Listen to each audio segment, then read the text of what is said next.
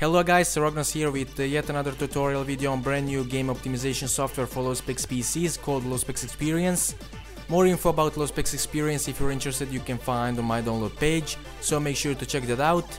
In today's video I'll be showing you how to optimize Mortal Kombat X for your low specs PC and improve performance. So basically everything you need to do is to download the setup file for low specs Experience from my website, link is in the description, and then install it. I think this is the easiest way to do so, I won't go over everything in every single detail on how to install it, how to extract and stuff like that.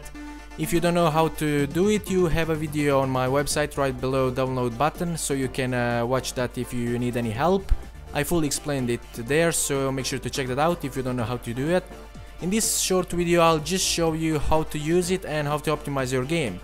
After you install it, uh, you'll get this shortcut on your desktop. Make sure to right click on it and then run as administrator. Once you open it, this screen should pop up. Click on Low Specs Experience, then select Mortal Kombat X and this menu should load. What I need you to do here is to simply select the resolution you want to run your game on and it will automatically optimize your game for your PC in the background. It will replace files needed for this optimization and you'll get this message down here once it finishes optimizing, uh, you will get a message to start your game. This game requires some additional configuration and pre-configuration to lower the resolution under the minimum allowed in options. Resolutions which require CMD or command prompt configuration uh, are marked as CMD as you can see in the name.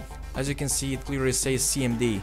And once you select which resolution you want, it will create a shortcut to configured file which you need to open from your desktop before you start your game.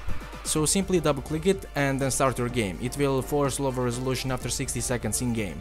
And at the very end of this video, if you are not happy with the results or the look of the graphics, you can always restore default game settings. Just click on restore default and it will restore default settings.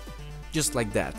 Also one more thing to note, if you have any problems, questions or anything to ask related to low specs experience, make sure to contact us through support tab and we'll gladly answer all of your questions, usually under 48 hours. And yeah, that's it for this video. Like the video if you like it, dislike if you disliked it, leave a comment below, share with your friends, do whatever you want. Also make sure to support me on social media such as Facebook or Twitter, I don't know. Every like, comment is appreciated. Also don't forget to subscribe to my channel, since it's the best way to get video updates and information related to everything including Low experience, right off the bat. Without any further ado, I'll see you next time with a whole new video. Bye bye.